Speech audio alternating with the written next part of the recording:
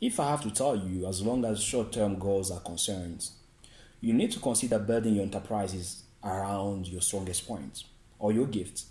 A gift is that set of skills that you can perform, you can do, you know, without much effort, you know. So if you can consider doing stuff around your strongest point, I can tell you, can go faster, you can go bigger without much effort you know. And this can build your confidence on even going for the bigger goal. You know that's require much skills that you don't have. And then you're gonna acquire this through the process of achieving the goal. Okay? Okay?